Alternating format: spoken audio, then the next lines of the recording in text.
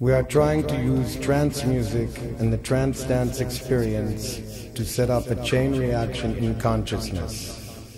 This is what we call redefining the ancient tribal ritual for the 21st century.